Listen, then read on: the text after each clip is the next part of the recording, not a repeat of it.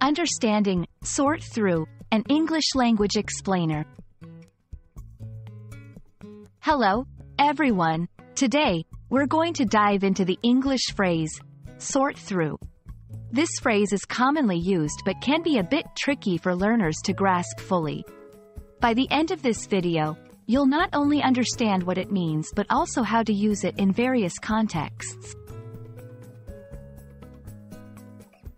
Sort through is a phrasal verb that combines sort, meaning to arrange or categorize, with through, which implies a thorough process.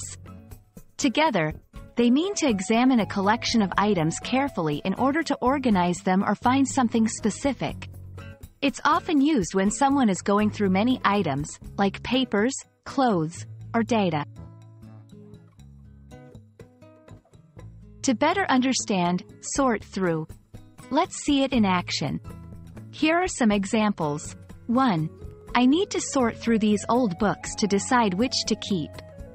2. The detective had to sort through all the evidence to find the clue. 3. After the meeting, I'll sort through my emails.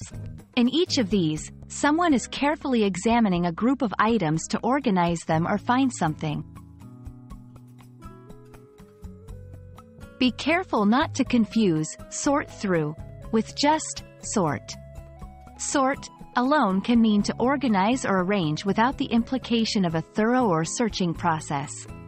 For example, I'll sort these files doesn't necessarily mean looking through them carefully. There are a few phrases and words that have a similar meaning to sort through. These include sift through, implies going through something very carefully. Browse through, often used for less thorough examination.